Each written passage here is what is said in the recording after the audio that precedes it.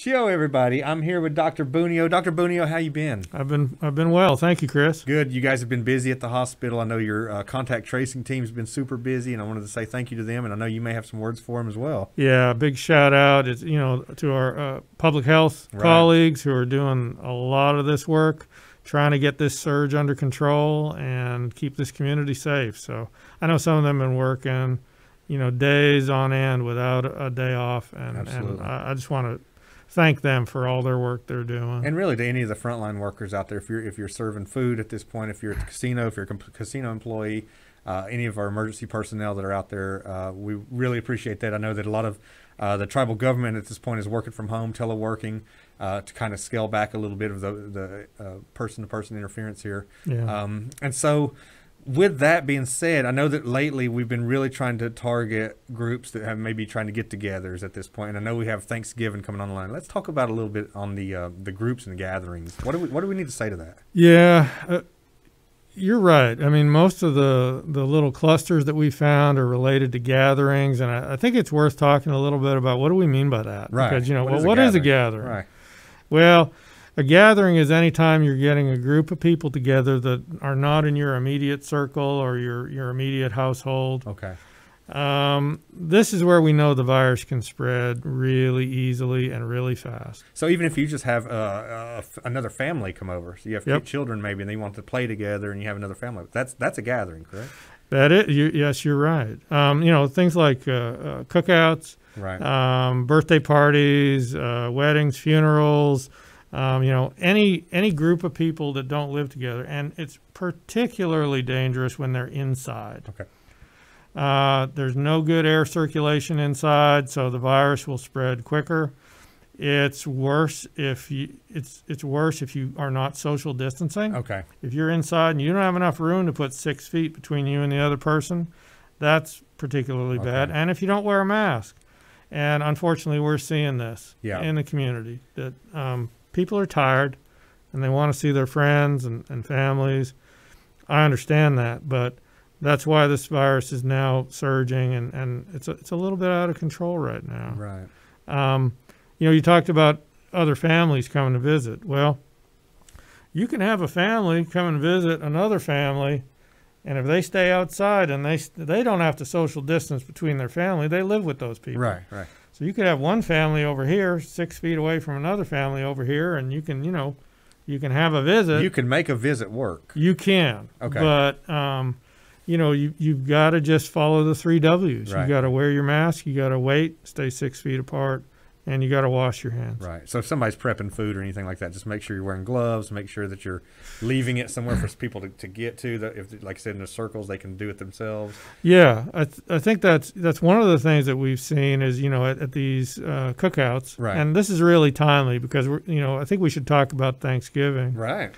Is um the if you set up a, a kind of buffet so that people serve themselves, they're everybody's touching the same serving utensil, Right. So that's a potential area of spread. Correct. Correct. It's far better to either, you know, one person pre- prepare the plates, they wash their hands or wear gloves, or they wear a mask, prepare plates for other people to pick up and go and Good. eat further away from other people or within their Their household circles. group, right? right? um so yeah, it is a risk when you set up buffet style and, and one person goes by and takes a scoop of potato salad and then the next person uses that same spoon, Right. right? Which wouldn't be me because potato salad completely grosses me out. So that's not going to be me anyway. I'll skip Okay, past uh, that. one. good good to know. And, and, and in the tradition of Thanksgiving, I'll make sure this year I shoot a turkey and leave it on your doorstep and ring your doorbell If, if that's and true, run away if before that's you come out. Yeah, if that's traditional. I, I'm not aware of that. I'm, being a, uh, I'm going way back, you know, uh, Plymouth Rock, um, Pilgrims, you know, we're, we're getting together. And so I'll bring you a turkey this year and leave it on your porch. oh, I appreciate that. Yeah, yeah, that'd be good.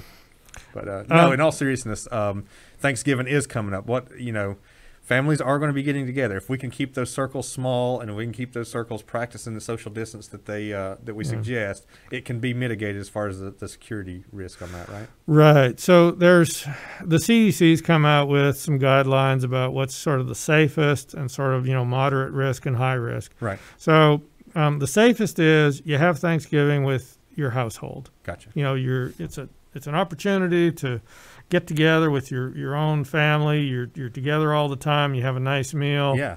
You don't have to wear masks. You don't have to social distance because you're already near each other. Right. Um, second best is doing it virtually in some way. You know, you have your meal, have a call with you know another family Yeah, or another grandparents friend. or friends or family. Yeah, That And- sounds fun, by the way. I, I think I, that's what I'm going to try this year is the virtual Yeah. Thanksgiving. That sounds pretty cool. And um, you know one other thing to remember. Um, you know what comes after Thanksgiving? Well, it's what do they call it? Black Friday. That's right. Big big shopping day. That's true. Do your shopping online.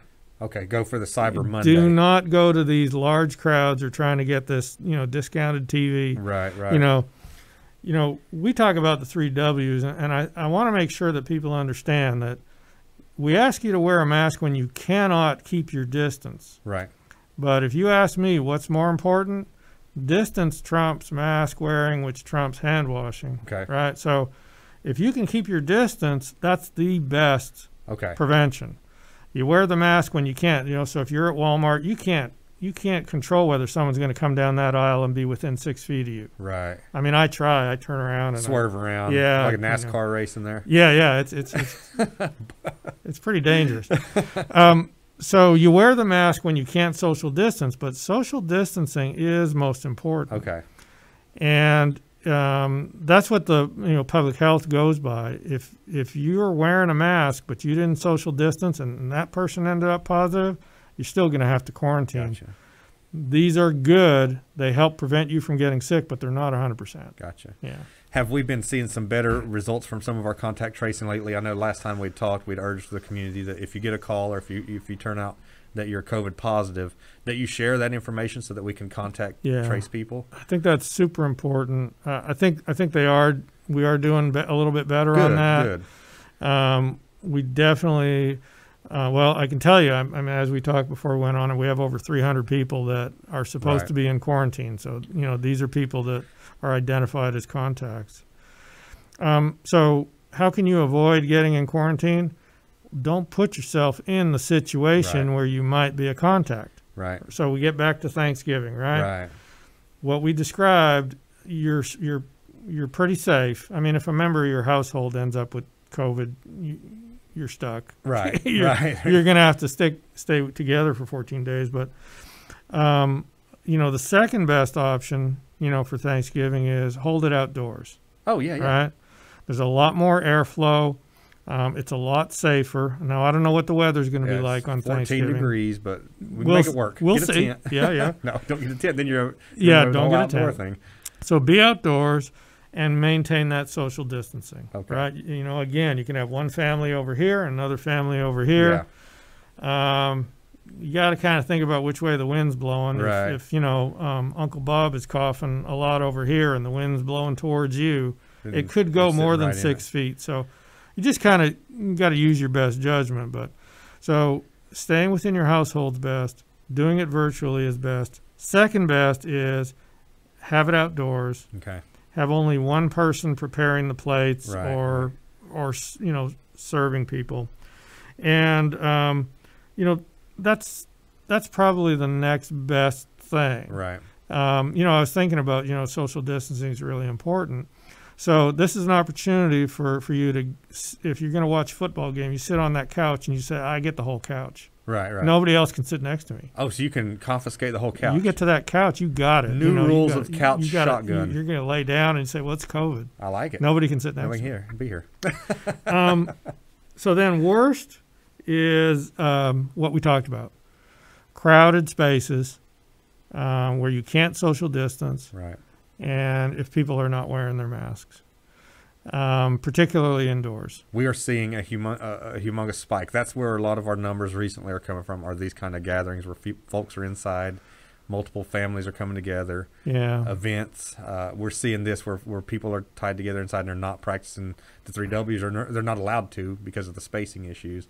And so that's where you're seeing a lot of the numbers. Is that right? yeah that's right and and of course we understand you know uh, you know uh, things like like a funeral Oh yeah. There are there are safer ways to do that to pay your respects Right. um, graveside service, outdoors, social distancing, wearing your mask. Again, it just all goes back to those three W's. Right. Because we understand that, you know, um, that's that's a difficult time for families. is. And they really feel the need to support each other. Um, it's just it's really tough right Yeah, now with this, true. this virus is hurting people in a lot of different ways. Now, Dr. Bunio, I've seen a lot of folks lately that are testing positive and that are going through this. They're having actual symptoms. It seems. It seems to me like they're having a lot of symptoms now that where in the past we were a lot of asymptomatic um, exposures. I guess I- is that true too? Is there a trend? Is there some kind of and that may be too uh, too high up for us, but Yeah, is it mutating or is there is there something we need to be aware of there? Is it just yeah. No, yeah. I, I'm, so we're seeing more people get the virus, and so we're seeing more people that have, you know, different symptoms and prolonged symptoms. Okay. There's a lot of people, particularly there's this young age group who uh, um, I think they feel like you know they're they can get the the infection and then they'll be okay. Right. Now, there's two problems with that line of reasoning. Right. First of all, it's not true that there's a lot of young people who end up with, you know, this sort of fogginess and fatigue and Right. ongoing symptoms. And second is we are now seeing an increasing number of cases where people have caught the virus, recovered, and they catch it again. Wow.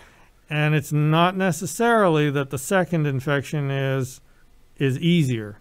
You know, you would you would hope that you have a little bit of immunity. Right. Um, we think that you know people will have a little bit of immunity, but um, you know we catch colds every year. Right. You know, we as as humans we have never developed immunity to coro- other coronaviruses. Okay. So this idea that we can get you know this herd herd immunity Has not been necessarily proven. it's not or- really solid. I mean, you know, we can we can develop herd immunity, and herd immunity means enough people are immune so that the few who are susceptible won't catch it, Gotcha. right?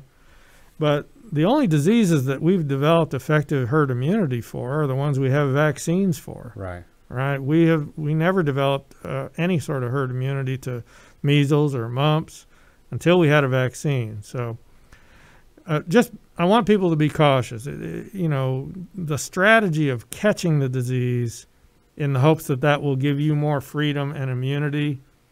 It's we just that's just not backed up by science. Right. And and that's what I was saying. I, I think I see a lot more of the symptomatic piece of it now with folks with upset stomachs, uh, the fever and the fatigue and the chills, Yeah. uh, the taste and appetite kind of stuff going away, the smell, I guess.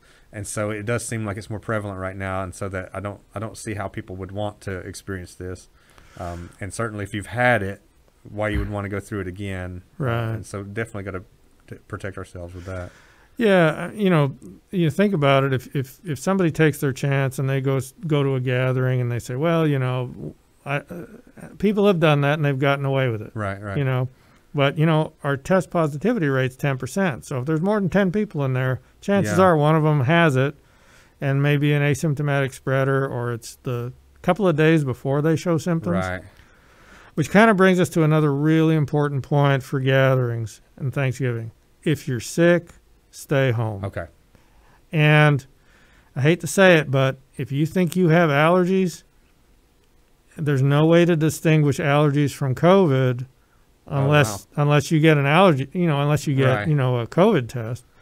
So if you have any kind of symptoms, you know, and, and nowadays we're seeing all kinds of things, you know, that loss of taste, loss of smell, you know, cough, you know, runny nose, fatigue. Uh, so the the message is if you're sick, don't go to a gathering. If you don't feel normal, 100% normal, That's right. don't risk it for anybody else. Yep. Gotcha. Um, there's a study, a survey going out, right? Yes. That we need to speak to. Yeah, there's a, a survey out right now that we encourage everybody in the community to take, and it's it's kind of gonna it's gonna help us understand, um, you know, what what their their attitudes toward Right. the virus, and in particular to the vaccine. Okay.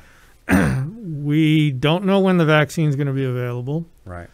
Uh, but when it's out, we want to know how many people are going to take it right away. Mm-hmm. Good. Right. Uh, We're not. We're not going to. Obviously, we're not going to force anybody to take the vaccine. Right. Um, but as we're we're planning to um, give as many people the vaccine as want it, we want to know how many are going to take it. Right. because I know there's some people are you know they're they're really they're confident and they're say yeah give it to me right away. There's others that go well it's been kind of rushed a little bit. Yeah. I know that. I mean you know my feeling is it's being rushed politically, but sci- the science is still pretty solid. Okay. Um, if the vaccine comes out, um, we believe it'll be safe. Having said that, I mean, we don't have the years and years and years of experience with this one that we do with the flu, With some of the other ones. flu been, shot, for you instance. know, which, by the way, been seeing a real good response in this community to flu shots. Do that. Get your flu shot. oh, good. Here's the best reason to get your flu shot. Uh, you don't want to get the flu because if you get the flu, you might think you have COVID, and then we got to stick that swab up your nose, and you know, it's it's not terrible, but it's not comfortable. So you want to avoid getting sick, and getting the flu shot is the best way to avoid getting the flu, Good. and then having to you know go through all that. Is it COVID or isn't it? Right. And, and you know, I To your knowledge, have you seen flu coming into the area yet? I haven't seen any. Okay. No, it's still early. Good. Th- okay. yeah, this this spike we're getting in, in COVID came a little earlier than I thought Right. it would. So again, I'm just appealing to the community. Go ahead and take Uh, care of this flu part of it yeah. first, and then we can continue to focus on the on the uh, COVID effort. Yeah, public health is is is working extremely hard, but uh, you know I got to say to the community, um, we cannot test and contact trace our way out of this. Right. everybody has to do their part. They have to people have to stop putting themselves into the position of catching this Okay. for a little while. At least till we have the vaccine and that and then we'll reassess things. Right.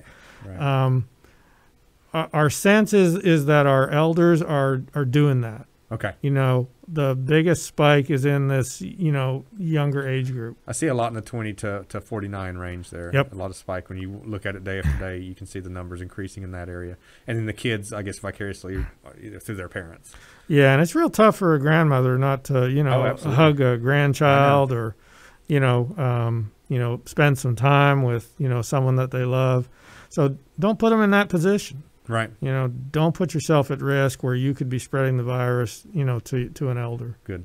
Well, Dr. Bunio, we really uh, appreciate you coming on, and we'll Yeah. uh, we'll talk and update the public again as soon as we have some more information. Yeah, I'm happy to do it. Um, glad um, if the community has any questions, you know, For sure. we're happy to address those and and just everybody stay safe. Yep, we'll talk to you again very soon. Data Dagahanyu.